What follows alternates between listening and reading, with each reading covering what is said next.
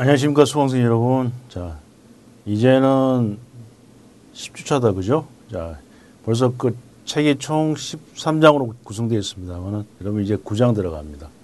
거의 막바지 단계다 그죠? 그런데 우리 국제경제에 있어서 참 재밌는 것 중에 하나는 뭐냐면은 어, 요즘 신문상에 많이 나타나가 있는 그 해외 금융관계, 금융위기라든지 뭐 여러분 뭐 아시다시피 IMF라든지 그리고 뭐 PF 어, 뭐 등등해서 새로운 용어들 최근에 많이 여러분 듣고 있습니다죠. 자, 이러한 용어들이 뭐냐? 국내에서 파생된 게 아니라 이미 해외 국제 경영상에 나온 용어들, 국제 경제 또는 국제 재무 쪽에서 나온 얘기들이 이미 최근에 우리나라가 잘 살게 됨으로써 들어온 단어들이 굉장히 많다는 사실입니다. 자, 이번 시간에는 그러한 용어들에 대한 정의를 내리고 용어들이 어, 무엇을 뭘 의미하고 있는지 또 이런 용어들이 어디서 와서 어떻게 사용되고 있는지 하는 부분을 간략하게 설명을 드리는데 시간의 제약상 상세히 말씀을 드릴 수는 없고 여러분들이 이해 수준에서 어 우리가 가장 그 최근에 많이 쓰고 있는 그런 용어들 중심으로 해서 말씀을 드리도록 하겠습니다. 자 넘어갑니다. 자 여러분이 지금 강의를 보고 계신 이 시간이 무슨 시간인지 모르겠습니다만은 자 볼까요? 자 배가 고프면은 뭐야? 자, 스타벅스에 커피 한 잔에다가 빅맥이지 빅맥. 아 뭐. 이게 먹고 자 이것도 모자라 그러면 뭐야? 라면 하나 또더 먹습니다. 그러면서 이제 배가 불러 아 음악을 또 즐깁니다. 죠 이런 이런 재밌는 현상은 뭐냐면 자 이런 것들 보면은 자 빅맥이나 아니면은 스타벅스에 대한 어, 라떼나 아니면 신라면이나 뭐 아예 받으십니다만 이런 게 뭐야? 세상에서 가장 많이 팔리고 있는 그 분야의 제품들이라는 얘기죠. 자, 이러한 제품들로 해서 뭐가 생기냐면 지수라는 걸 만들어집니다. 지수. 가장 그 재밌는 게 그 호주 커먼 웰스 은행에서 2006년도입니다만은 CommSec 아이팟 지수를 만들었습니다. 아이팟이 어, 각 나라에서 얼마나 팔리고 있는지는 가격 비율 개념입니다. 지수란 그런 개념입니다. 지수란 뭐냐? 자, 일정 품질의 제품을 각 나라에서 어떤 가격이 형성돼 어떻게 팔고 있냐를 나타내는 그 비교표가 지수라고 보시면 됩니다. 예. 자, 그다음에 빅맥 지수, 예. 그다음에 스타벅스 라떼 지수가 있습니다. 신라면 지수. 자, 내용은 뒤에서 어, 재밌게 한번 더 보도록 하겠습니다. 자, CommSec 아이팟 지수는 2006년 호, 주에 있는 커먼웰스 은행에서 개발했습니다. 이때 아이팟이 정말 세계적으로 크게 유행할 때입니다. 그죠? 우리나라에서도 MP3에 대해서 많은 그 기업들이 어, 생겨났다가 없어지고 있습니다만은 어, 그러나 우리나라 그 MP3 업체들이 어, 2004년도 5년도는 잘 나갔습니다. 3, 4, 5년도. 그러다가 이게 아이팟이 점점점 커지면서 거의 세계 시장을 그 MP3 시장을 다 먹어버리고 그 외의 기업들은 거의 몰라간 정도로 가져갔습니다. 지금은 어 다른 MP3 또는 MP4는 거의 찾아볼 수 있고 아이팟이 거의 시장을 뭐한 뭐 한 한 8, 90% 차지하고 있죠, 그죠? 그런 차원에서 보시면 됩니다, 죠. 자, 영국 이코노미스트가 만드는 빅맥 지수입니다, 죠. 이거 맥도날드의 그 햄버거를 가지고서 만들었습니다만. 예. 자, 이런 것들은 뭐냐면 아까 말씀드렸듯이 환율이 올바르게 작동한다면 동일한 상품 어디에서나 같은 값으로 팔린다는 전제하에서 비교를 했습니다만은 그러나 전부 뭐야 지수가 다르게 나타났다는 얘기죠. 이게 구매력 평가 이론에 의해서 이러한 어, 구분을 해주고 있습니다. 이게 뭐냐면 자그 나라의 소득 수준, 문화 수준 아니면 어, 시장 형성 수준, 그 다음에 관련 양 등등의 굉장히 많은 것들이 어, 포함됩니다만 이런 걸 가지고 우리는 지수 측정을 합니다. 자, 그 다음에 보겠습니다. 다음 스타벅스 라떼 인덱스라고 해서 스타벅스 라떼 지수입니다. 그죠? 자, 원재료인 커피를 직접 구매한 후에 현지 점포로 보내므로 현지화 정도가 상대적으로 높은 맥도날드 맥, 어, 빅맥 지수보다는 현지화에 대한 편차가 비교적 어, 덜 반영되는 부분입니다. 이거는 그 조사 시점에서 달라질 수 있습니다만은 뭐 뭐가 많이 반영되고 적게 반영되고 차이점은 제가 보고는 크게 없는 것 같아요. 예. 그리고 특히 스타벅스는 한국의 스타벅스 가격이 굉장히 비쌉니다. 외국에 비해서. 심지어 4, 5%, 4, 50%, 70%까지 비싸다고 얘기를 하고 있습니다만은. 자, 이런 것들이 바로 지수입니다. 똑같은 양의 똑같은 맛의 똑같은 원료의 어, 라떼를 팔더라도 이 한국에서는 얼마, 해외에서는 얼마 이렇게 달라요. 아메리 아메리카노 이것도 달라질 수 있긴 있습니다. 자, 신라면 지수는 우리나라가 자랑하는 대표적인 뭐야 가공식품 중에 하나입니다. 그죠? 이미 70개국에서 팔리고 있습니다만은 참 대단합니다.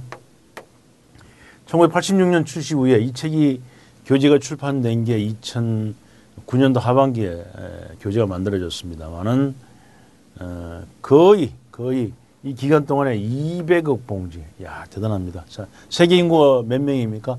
65억 인구입니다. 죠 65억 인구의 3배. 세계 인구의 3배가 어, 신라면이 팔렸다는 얘기죠. 그럼 신라면은 한국의 음식이 아니라 세계적 음식이라고 보셔야 됩니다. 죠 자, 이런 것도 지수가 만들어졌습니다. 그러니까 즉 다시 말해서 공동적인 어, 점을 찾는다면은 세계에서 가장 많이 팔린 제품을 가지고 지수를 만들고 또한 소득격차, 민족, 지리적 위치 등 측면에서 다양한 나라에 진출이 돼 있을 때 비교 상대가 됩니다. 또한 그 제품이 각각의 다른 특성을 갖는 게 아니라 거의 표준화된 제품일 때 지수를 만들 수 있습니다. 네. 자 그런데 이러한 지수 비교에 있어서 문제가 될 수 있는 여지가 또 하나 있습니다. 그죠? 뭐가 있느냐? 가격 비교에 있어서 동일한 가격을 매기지 않고 그날의 소득 수준 따라서 아니면 시장 관계 아니면은 판촉 수준에 따라서 뭐 프로그램상 가격 전략을 시장마다 다르게 적용을 하는 경우가 있어서 이때는 어, 지수에 대한 영향이 조금 어긋나는 경우도 있습니다. 음, 음. 그런 차원에서 여러분들이 아마 어, 이해를 하시면 될 것 같아요. 자, 요 신라면 판매 가격을 봤습니다만 신라면은 보면은 한국 0.5치더죠. 굉장히 싼 가격에 먹을 수가 있고 제일 비싼 게 어디입니까? 아, 독일입니다. 독일이 우리나라 가격의 거의 두 배 이상 어, 판매되고 있습니다. 그죠? 근데 에피소드 하나 얘기할까요? 신라면 처음 나왔을 때 저는 제 짧은 시점으로서는 안 되는 줄 알았습니다. 제 과거의 잘못된 판단을 여러분한테 고백합니다. 왜? 자, 신라면이 뭡니까? 매울신입니다. 그죠? 그 저는 어떤 개념을 가졌냐면은 쉰. 자, 쉰인 개념이 뭡니까? 상한. 그래서 이거는 상한 라면이라는 개념을 가질 것이다 해서 야 이거 브랜드가 잘못 붙여진 게 아니라고 고민을 한번 해봤습니다. 웬걸요? 매울 신이라는 게 어필되면서 굉장히 많이 팔려나갔다는 얘기죠. 이게 한때는 라면 시장의 거의 50% 이상을 점유하고서 라면 시장 전체의 반을 신라면이 먹은 적도 있습니다만 지금은 많이 그 분산이 되고 있습니다만은 어, 이러한 그 위력을 발휘하기도 했습니다. 여러분 아마 기억나실지 모르겠습니다만은 2011년 어 9월 10월에 어떤 현상이 있었냐면은 농심이 신라면 블랙을 만들었다가 소비자들한테 뒤통수 입구리 맞고서 어, 한국 시장에서 신라면 블랙을 철수시킨 바 있습니다. 그 이후에 해외 시장을 진출하기 위한 그 전략을 다시 짰다는 얘기는 들었습니다만 어, 지금 여러분이 한번 어, 보시고 신라면 블랙이 어떠한 전략을 밟고 있는지를 한번 찾아보는 것도 재미있을 것 같아요. 그죠? 자, 국제 재무 활동의 개념과 구조를 보면은 자, 국제 재무 활동은 여러분들 요즘도 보면은 어, 요즘도 보면은 뭐 옛날부터 지금까지 그렇습니다만 계속 환율, 환율이라는 얘기를 합니다. 그죠? 환율 변동은 국제 기업의 국제 경영에 영향을 주는 주요 요소입니다. 여러분 아마 기억나실지 모르겠습니다만 일본 엔화가 엔화가 2007년 말이던가요? 8년에 미국의 그 금융 사태 이후에 엔화가 엄청 그 환율이 올라가지고 일본 제품 수입하는 기업들은 거의 다 문을 닫을 판이었습니다. 그래서 어, 제 기억에 일본 제품 수입했던 반 이상의 그 기업들이 문을 닫은 바도 있습니다만 그만큼 환율은 굉장히 그 기업의 활동에 엄청난 영향을 줍니다. 특히 수입 제품에 대해서 어, 달러 대 유로화 대 환율이 어, 환율이 내려간다 올라간다 참 이게 설명이 어렵습니다만 제가 말씀드린 환율이 올라간다는 말씀은 그 돈의 가치보다는 어, 비율이 올라간다는 이런 개념에서 여러분들 듣고 해석하시면 될 것 같아요.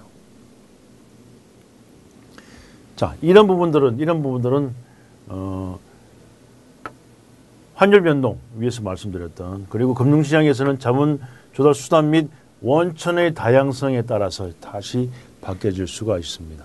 근데 이러한 문제는 환노출 관리 뒤에서 다시 말씀을 드리겠습니다만은 국제 금융 시장의 환경, 무역 거래 및 프로젝트 투자 금융에 대한 어, 관리 사항 등으로 구성이 됩니다.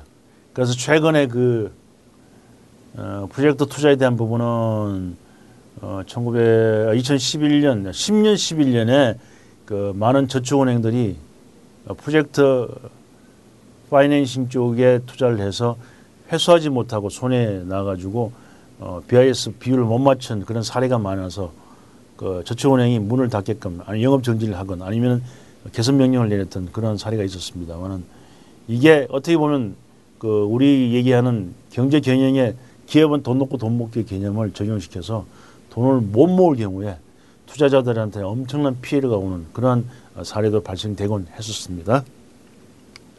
자, 그 다음에 국제재무활동의 개념과 구조에 있어서는 몇 가지 사항을 보겠습니다. 자, 국제재무활동과 환율에 대한 부분, 기준 환율이 얼마고 재정 환율과 구매력 평가 환율이 얼마냐는 부분, 이런 부분이죠. 환노출 관리에서는 거래와 경제적과 회계적 환 노출을 얘기해주고 있습니다. 그리고 국제 이러한 걸 통해서 국제금융변처회사에서는 국제금융시장의 기능과 국제통화제도의 환경을 알아보고요. 자, 유형에 있어서는 국제 단 장기 금융 시장 그리고 국제은행업, 국제 유가, 국제 정권 시장에 대해서 알아보도록 합니다. 자, 이 특히 여러분들 이게 어, 이러한 그 유가는 국제 유가는 1970년도에 어, 예전에 에, 금을 보유 많이 보유하고 있던 미국의 경제력 우위에서 70년대 오일 쇼크가 일어나면서 중동아시아의 그 오일 값이 엄청나게 뛰면서 어떻게 서방 국가의 부가 어, 서남아시아 쪽으로 넘어갔던 많은 사례가 있었습니다만은 자 이런 게 바로 국제 유가입니다, 그죠? 그래서 1970년을 기점으로 해서 서방의 많은 부들이 서남아시아 쪽으로 넘어간 예가 있습니다. 자 그 다음에 어, 그 다음 단계에 어, 무역 거래 금융이 있고 자 여러분 신용장 거래 대형 무역이 있고 그 다음에 프로젝트 투자 project financing이라고 얘기합니다만은 금융 자금 조달 원천 finance 구조에 대한 부분을 여러분들이 알아보도록 하겠습니다. 근데 어, 시간상 여러분한테 그 다른 설명을 못 드리고 어, 여러분들이 그 어, 듣고 이해할 만한 그리고 어, 최근에 여러분들이 그 신문지상을 통해서 아 이런 이런 단어가 바로 이거구나 하는 부분을 여러분한테 설명을 어, 드리도록 하겠습니다. 자 환율이란 뭐냐? 여기 나와 있습니다. 199의 통화 가치를 다른 나라의 통화 단위로 나눈 것 이렇게 얘기합니다. 그죠? 자, 우리, 그 지금 환율이 예전에 1대 400까지 갔던 기억이 있습니다만 예전에 어, IMF 체제 때는 1대 500, 어, 1100, 어, 1550, 1600까지 갔었습니다. 그러니까 거의 4배의 비율이죠. 그죠? 옛날에 비해서. 예전에 고정 환율이었습니다만은 어, 박정희 정권 이후에 어, 우리나라가 개방 시대로 바뀌면서부터 어떻게 바뀌었냐면은 변동 환율제로 바뀌었습니다. 그러니까 환율이 고정 환율이 아니라 어, 국제 정세에 따라서 그리고 국내의 그 외환 보유, 보유고 따라서 아니면 어, 나라 간의 그 무역 거래에 따라서 아니면 어, 국민 총소득에 따라서 이렇게 상당히 많은 요인들이 있습니다만 그렇게 변동 환율제로 바뀌었습니다. 그래서 어, 거의 한 1,100원 선에서 많이 최근에 움직이고 있습니다만은 환율은 지급 수단일 뿐만 아니라 투자 대상도 됩니다. 이게 무슨 얘기냐? 자, 예전에 우리 IMF 체제 때 외국 자본을 끌어들이기 위해서 어떻게 했습니까? 환율을 엄청나게 높였습니다. 제가 드리는 말씀은 그 비율 개념입니다죠. 그러니까 워낙 가치 개념이 아니고 비율 개념을 보시면 됩니다. 자, 1달러에 1,600원을 주니까 자, 우리나라에 어, 투자해 가지고 1,600원을 어, 돈을 바꿔서 1,600원에 대한 돈으로서 투자를 합니다. 그게 이제 안정화되면서 어떻게 됐습니까?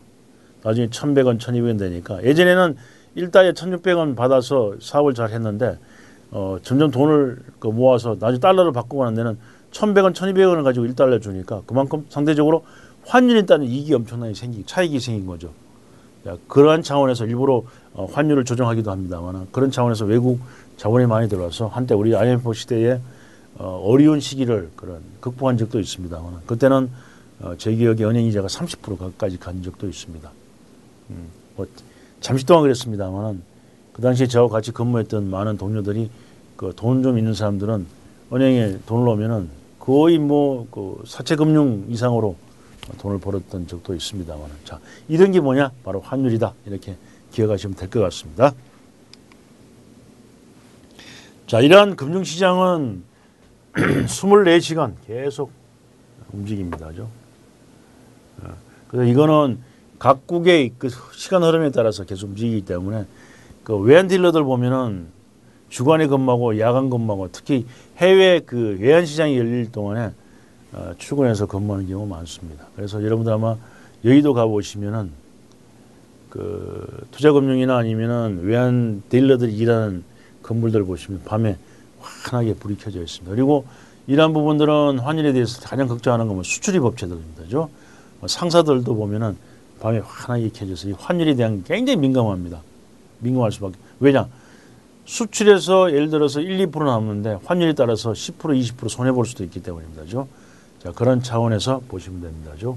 자 이런 뭐 거래 시간은 그 나라의 working day 기준하는 거기 때문에 어, 그걸 하면 기준을 하시면 될 것 같고요. 어, working day도 기준하지 하지만은 세계적으로 나름대로의 그 정해진 룰에 의해서 자기들이 관리하는 시간이 별도로 다 진행이 되어 있습니다. 자, 요거는 그냥 여러분 도표를 보시면서 이해를 해 주시면 될 것 같아요. 자, 그 다음에 기준 환율과 재정 환율에 대해서 공부를 하도록 하겠습니다. 자, 시작의 환율 기준, 자국 통화나 의존도가 가장 큰 특정국 화폐의 교환 환율을 표시한 건데, 자, US 달러, US 달러, 유로화, 파운드화, 파운드는 영국 돈입니다 죠. 유로는 뭐야? 유럽 지역을 통틀하는 화폐 단위입니다. 그 다음에 US 달러는 미국 중심의 달러입니다죠. 이세 가지 경우를 많이 씁니다만은. 그러나 우리나라에서는 뭐야? 어, 중국의 원화. 이건 하나의 그 환율에 대한 어, 지표로서 사용을 하고 있습니다. 그러나 국제적인 건 아니다. 그죠? 자, 엔화 게 있습니다. 또 러시아 뭐 등 몇 가지 쓰고 있습니다만 자, 가장 많이 쓴 게 뭐다? US 달러, 유로와 파운드 하다 이렇게 보시면 됩니다. 그죠? 자, 재정 환율 보면 특정국의 화폐에 대한 환율을 기준 환율로 통해서 타국 화폐의 비율로 계산하는 환율이라는 부분이죠. 자, USD 달러, US 달러를 계산해서 다시 유로 달러. 그러니까 어, 바로 하는 게 아니고 이렇게 이렇게 어, 몇 단계를 넘어져서 이렇게 계산하는 방법을 재정 환율이라고 얘기를 합니다. 네. 자, 이건 삼각 차익 거래 방법인데요.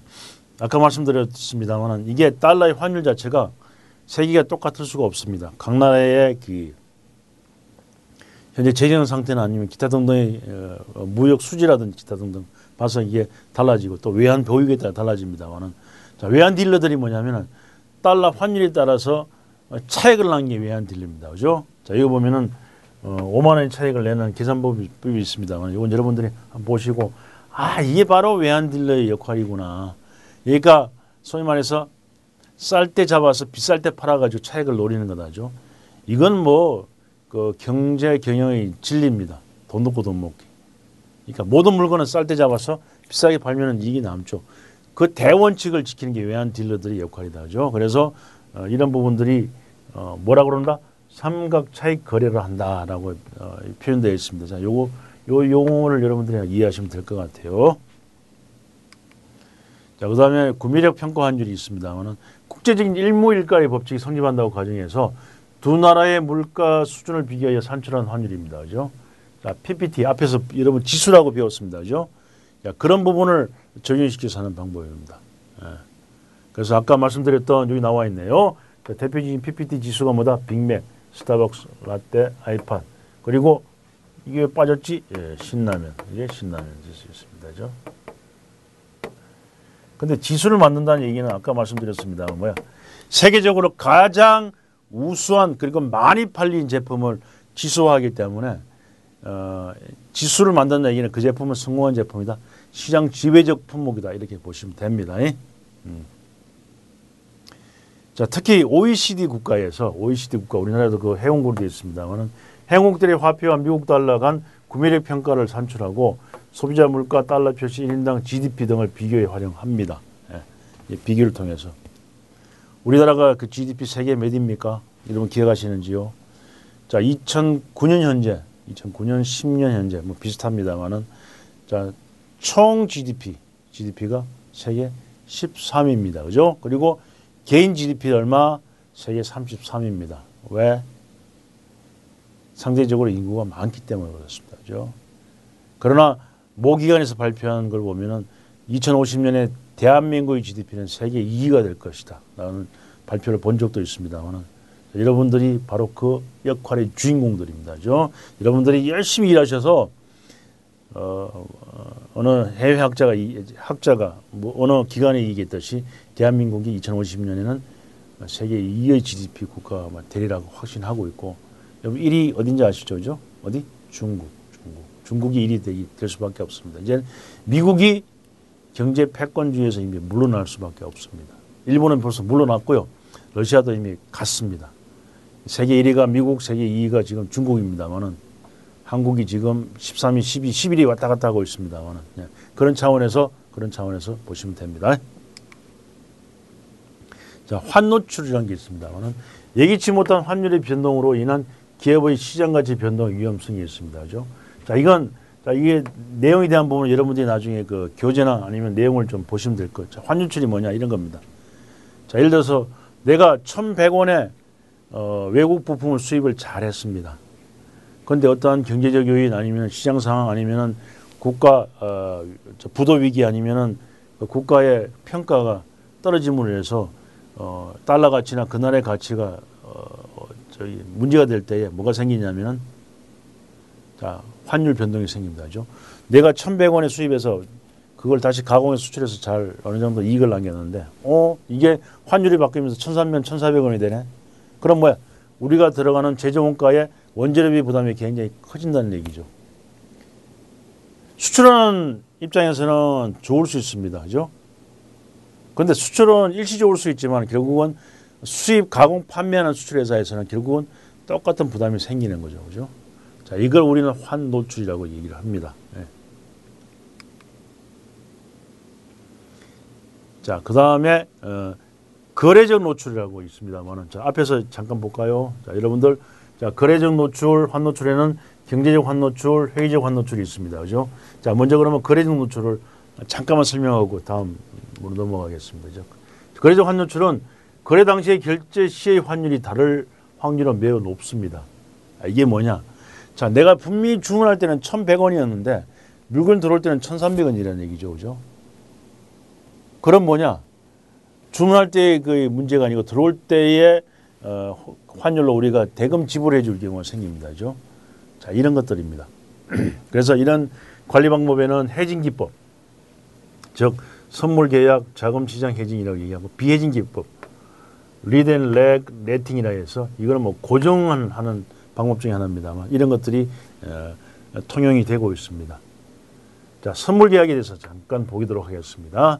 자, 미래 정해진 시점에 환 매도자와 환 매수자가 약정한 환율의 일정량 통화를 거래하기로 약 계약하는 겁니다. 죠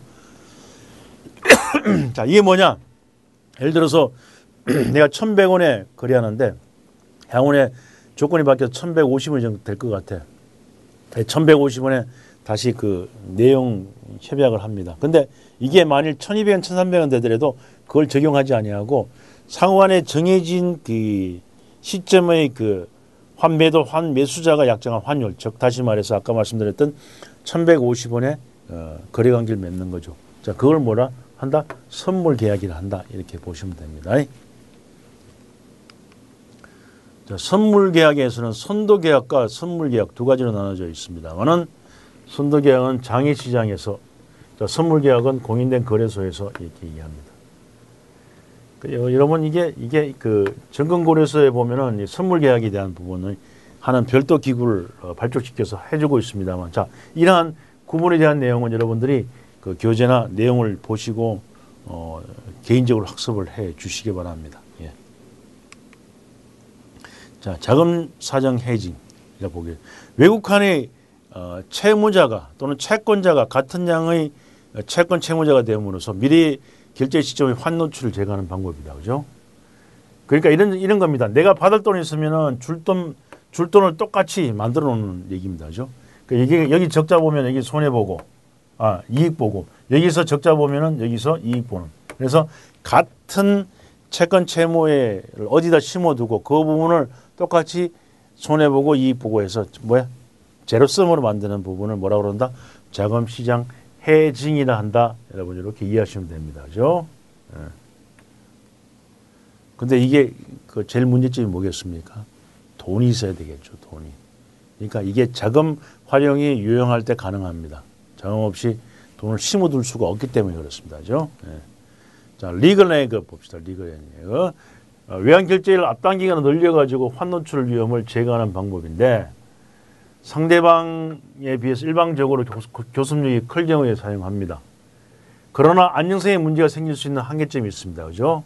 이거 뭐냐면 내 임의대로 내가 땡겨서 얼마 주겠다고 약속하는 부분입니다. 예. 그런데 이게 참 어, 교섭력은 클 수 있습니다만은 이게 거래 관계가 잘 맺지 않을 수도 있습니다. 왜? 상대방이 동의를 안 할 경우도 생기기 때문에 그렇습니다. 그죠? 그 다음 네팅이라는 게 있습니다만 자, 네팅은 여러분들이 자, 여기 보시고 여기 중요한 포인트는 뭐냐? 차액만을 위하여 결제하는 거래 방식이다. 요걸 하면 여러분이 그 핵심 포인트를 보시고 내용을 이해해 주시기 바랍니다. 자, 다음에 그 다음에 두 번째가 경제적 환율이 있습니다. 그죠? 예기치 못한 환율 변동으로 인해 기업 가치 자체가 변동할 수도 있습니다. 이게 참 이런 거 많습니다. 어. 자, 여러분들이 지금 그 특히 수출하는 기업들 또 수입하는 기업들이 뭐에 벌벌 떠냐면은 환율이 벌벌 떠고 있습니다. 이게 경제적 환율줄인데 이런 환율 변동은 어 10원, 20원에 따라서 이익이 좌지우지 되는 경우도 있습니다만은 어, 최근에는 국가에서 환율 조정하게끔 세계적으로 어, 제도를 만들어 놨습니다. 예전에는 국가에서 환율에 대한 간섭을 못 하겠습니다만 국가가 요즘은 인위적으로 어, 국가의 공적 자금을 투자해 가지고 환율에 대한 조정 작업을 해주고 있습니다. 예. 자 이런 것들이 예, 어, 현상이 벌어지고 있습니다만은 하나 여기서 여러분들은 또 알고 넘어갈 것들이 뭐냐? 같은 시장에 있는 모든 기업들이 직간접적으로 경제적 환노출에 영향을 받습니다. 당연합니다. 자, 수출 수입하는 기업에서 어, 심지어는 내국 어, 수요만 일으키는 기업에서도 수, 그 수입 자재가 있으면은 이러한 영향을 받게 되어 있습니다. 그래서 대기업들이 하는 그 과정이 하나는 뭐냐면은 돈이 있고 영향이 있고 그 다음에 많은 물량을 해외 수출하고 현지 생산하는 이런 어, 같은 생산 공장을 여러 군데 분산시켜서 자, 한국에서 손해 보면 일본에서 이익 보고 일본에서 손해 보면 미국에서 이익 이런 여러 군데 뭐 제가 하나 사례를 말씀드렸습니다만 이렇게 해서 공장을 분산시켜서 환 노출에 대한 어, 경제적 환 노출에 대한 최소한의 리스트 테이킹하는 이러한 방법을 하기도 합니다. 물론 이러한 그 각국의 공장들은 현재 맞는 또는 제도에 맞는 아니면은 어 현재 자연 어에서 나오는 그러한 어 특산물 아니면은 광산물에 대한 가공도 있습니다만은 이런 부분들은 환주 수출의 위험을 또 줄이는 하나의 전략적인 방법입니다. 그죠? 음. 자, 그 다음에 경제적 환율출을 넘어가겠습니다. 네. 그 다음에 국제금융시장의 기능을 봅시다. 국제금융시장. 자, 비근하려 이런 게 있습니다. 그죠? 자, IMF 체제가 어, 여러분들 아마 기억나시겠죠. 1997년도 말에 형성돼서 98년도 본격적으로 터지고 우리나라가 2년 반 만에 졸업을 했습니다만은 자, 그 돈이 누구 돈입니까? 해외 IMF라는 그, 그 국제금융기구에서 대한민국의 돈을 빌려주면서 니네들 이자는 이렇게 하고 외환 어 그러니까 외국 자본을 이렇게 끌어들이고 거의 외환의 움직임에 대해서는 누구의 통제 IMF 통제를 받습니다. 우리나라 아무리 잘해도 꼼짝 못하 왜? 달러가 없기 때문에 어디 외국에서 물건을 원재를 사올 수가 없어요.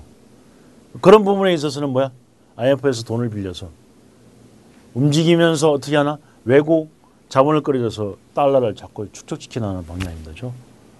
2011년도에 어, 우리나라가 3천억 달러를 남짓 어, 보유하고 있고 어, 중국은 2조 이상의 그 외환 보유를 갖고 있습니다만 중국이 무섭습니다. 중국이 아마 제 생각에 일정한 달러를 그냥 풀어버리면 미국이 아마 넘어질 수도 있습니다. 그만한 외환 보유고를 중국은 이미 갖고 있습니다. 죠? 자, 이러한 금융시장의 기능에서는 자금 조달 기능이 있습니다. 죠? 음. 자, 기업의 자금 조달에 필요한 단기 및 장기 자금에 대한 수요 공급을 매개를 해줍니다. 또한 기업의 무역 투자에서 발생한 금융 거래를 지원하는 청산 및 통화 교환 기능도 해줍니다. 그래서 자금 조달 기능과 청산 및 통화 교환 기능을 우리 국제 금융 시장에서는 그 기능을 해주고 있다 이렇게 하면 여러분들 두 가지 관점에서 보시면 될 것 같네요. 자, 그 다음에 근본위제에 대해서 말씀을 드리겠습니다. 자, 여기서 뭐가 나와 있습니까? 금. 여기 나와 있네요. 그죠? 자, 금. 자, 뭐냐? 금을 갖고 이거를 외환이 외환을 보유하고 있다는 어 그러니까 그 가치를 인정받는 부분이다죠. 따라서 이겁니다죠. 자, 인류 역사상 가장 오랜 기간 동안 화폐 역할을 해온 금이 있습니다죠. 자, 금이라는 얘기는 뭐냐? 지금 최근에 2011년 7월 8월에 아마 대한민국이 어, 금값이 굉장히 오를 때 어, 우리 외환을 풀어가지고 금을 샀던 기억이 있습니다만은 2011년에 그 금값이 굉장히 비쌌습니다. 한때는 예전에 5만 원 하던 게 25만 원까지 가기도 갔습니다만은 그러나 우리가 외환 보유가 어느 정도 어, 차있기 때문에 그 돈 일부를 가지고 금을 사서 한국은행 그 지하에다가 이렇게 보관하는 금화본위제로 갔습니다. 아니 금화본위제 아니고 금본위제다죠. 자 금화본위제는 뭐냐? 금으로 주 하나 다른 돈을 만들어서 보관하는 방법입니다죠. 어. 그 다음에 나온 것들이 뭐냐면 금화 대신에 뭐야 보조화폐인 금 지금 본위제 이렇게 해서 세 가지 금을 가지고 하는 부분이 나와 있습니다만은 자 이런 금을 가지고 화폐 가치를 다루는 부분은 장점은 실물 자산 기반 화폐이므로 인플레이션 억제 효과를 할 수 있습니다. 이게 뭐냐? 자, 금 보유한 만큼 화폐를 그, 그 찍어내거나 아니면 금값 보유 금값에 비슷한 규모의 화폐에 대한 그 순환 작용을 하면은 어그 화폐를 필요 이상으로 과다하게 찍지 않는 그런 현상이 생깁니다. 이제 근데 최근에 문제가 생기 있습니다. 미국이 자기들이 보유한 금 이상으로 화폐를 찍고 있어서 어 US 달러에 대한 그 위기론이 나오기도 했습니다만은 어, 2007년부터 쭉 나왔고 여러분 아마 기억하실 겁니다만은 2011년에 미국이 70년 만에 어, 미국의 신용도가 한 단계 내려간 적이 있었습니다. 그 당시에 뭐 어, 잠시 동안 난리 났었습니다만은 그러니까 세계의 경제 강대국인 미국도 어, 경제에서는 힘이 없다는 얘기죠. 그러니까 그런 부분이 세계적으로 계속 벌어지고 있고 2011년은 그러니까 그 2007년도 이후에 8년도, 9년도, 10년, 11년도는 어, 유럽기과 그리스, 이태리 뭐 많은 나라들이 뭐야 신용 등급이 이렇게 내려가는 경우도 있고 그리스 위기론도 있고 그랬었습니다만 자 이런 부분들은 단점이 뭐냐면은 자 금을 갖고 있는 만큼 이제 어, 돈을 뿌려서 인플레이 억제 효과는 있습니다만은 유동성 발생 문제가 생깁니다. 이게 뭐냐? 내가 돈을 필요할 때 찍어내야 되는데 금 가지고 있는 만큼을 찍어내자니 이게 안 된다는 얘기죠. 자, 그런 부분이 문제가 생깁니다죠. 자, 그래서 이걸 단점으로 얘기를 해주고 있습니다. 자, 금한 본위제는 뭐냐면은 화폐를 금 또는 금화가 아닌 금본 위제 국가의 화폐로 바꿔주는 제도입니다죠. 자, 이런 부분은 현재 미국을 중심해서 어, 운영이 되고 있습니다. 그래서 미국의 달러가 달러가 국제금융시장에서 중요한 위치를 차지하게 되는 계기가 됩니다. 그죠? 자, 미국은 이겁니다. 자기들이 금을 많이 갖고 있고 달러를 찍어내면서 이거는 금, 금하고 똑같습니다. US 달러 쓰십시오라는 얘기죠. 그죠? 그래서 어, 전 세계 금의 70%를 미국이 지금 갖고 있습니다만은 어마어마합니다.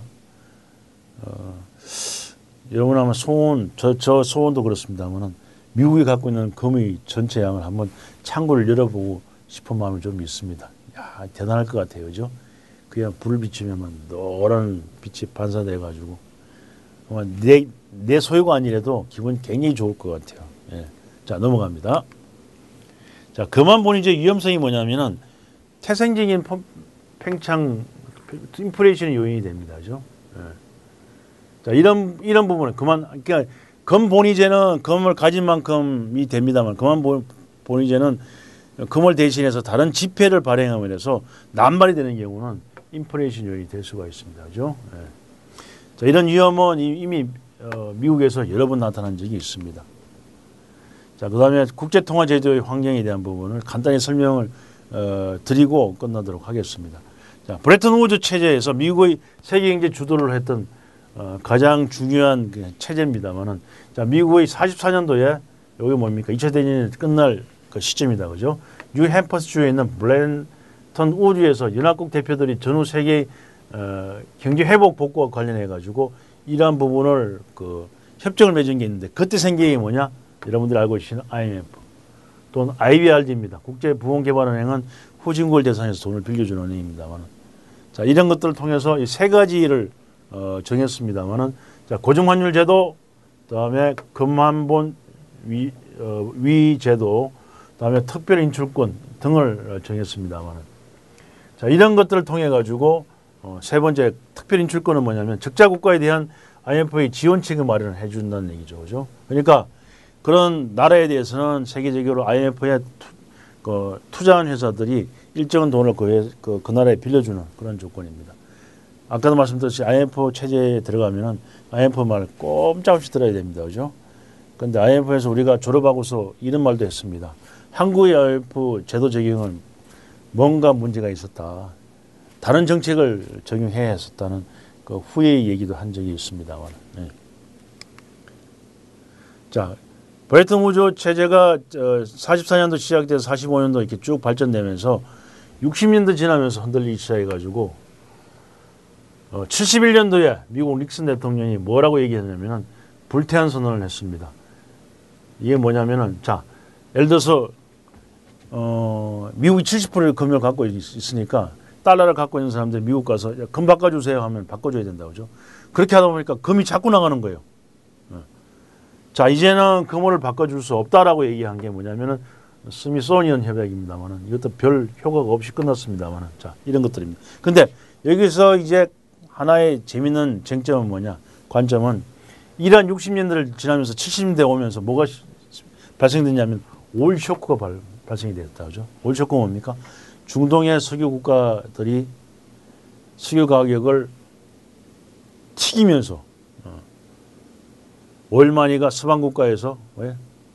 오일마니가 서방 국가에 불을 뺏어가는 그리고 이렇게 어, 평준화되는 서남아시아를 가져가는 어, 그런 현상이 벌어집니다. 근데 재미있는 건 뭐냐?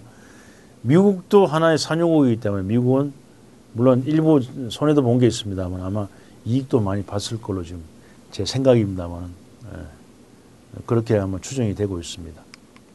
자, 국제통화 제도 환경 뒤에 등등 해서 많은 양이 있습니다만 여러분 시간상 어, 여기까지 이번 시간을 마치도록 하겠습니다. 그리고 뒷부분에 나오는 국제 통화 제도의 환경이라든지 어, 여러 가지 형태 있습니다죠.